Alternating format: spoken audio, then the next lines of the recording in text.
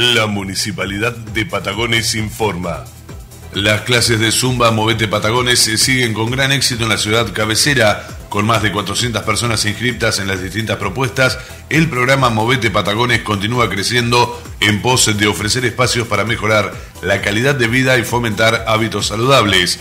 Desde que trasladó las clases de Zumba al gimnasio del Club Atenas de Carmen de Patagones, el número de participantes sigue en incremento cada semana. Desde el área de coordinación de programas sanitarios destacaron el constante crecimiento y la importante adhesión a la propuesta que se brinda gratuitamente todos los miércoles y viernes de 16.30 a 17.30 horas. El operativo de limpieza se traslada a los barrios Villa Massini, Villa Lynch y Barrio Jorge. En el marco del cronograma dispuesto por el área de servicios, se informa a la comunidad que desde el pasado 28 de septiembre el operativo de limpieza se trasladó a los barrios Villa Massini, Villa Lynch y Barrio Jorge.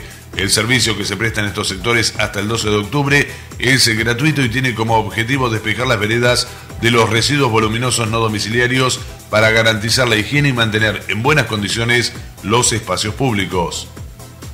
En La Plata, el intendente Sara se reunió con el ministro de Salud bonaerense en el marco de las diversas gestiones que llevó adelante la ciudad de La Plata. El intendente municipal, ingeniero José Luis Sara, se reunió con el ministro de Salud de la provincia, Nicolás Keplak, y el jefe de gabinete, Salvador Giorgi. El jefe comunal concurrió acompañado por el secretario de Salud, Edgardo Jalaber.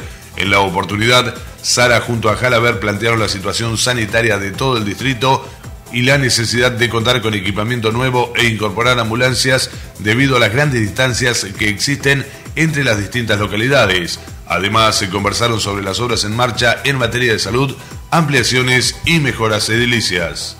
Gestión José Luis Sara Intendente.